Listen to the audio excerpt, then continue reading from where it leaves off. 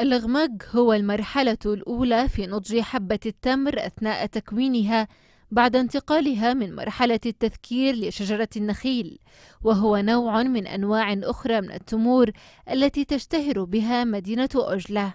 الغمق الدقلة هذا لما نوبر نحن الدقلة آه، بعد التوبير بحوالي آه، شهر شهر اثنين آه، اثنين وثلاثة وأربعة وخمسة تكبر الحبة في شهر ستة في 20 6 أو 18 6 بالتحديد يبدأ يطيح في الغمق. الغمق هذا يطيح من العرجون. بعد ما نحن نخف بعد ما نخف العرجون تبقى تطيح هي من 18 17 20 تبدأ على طول تطيح في الدقلة تطيح في الغمق نتاعها يبدأ الغمق بالاخضرار في شهري مايو ويونيو من كل عام حيث يعتبر الوجبة الرئيسية لأهالي مدينة أجلة قديما قبل أن ينتقل إلى مرحلة الرطب أو التمر الجاف وله طرق خاصة لقطفه تختلف عن غيره من أنواع التمور الأخرى.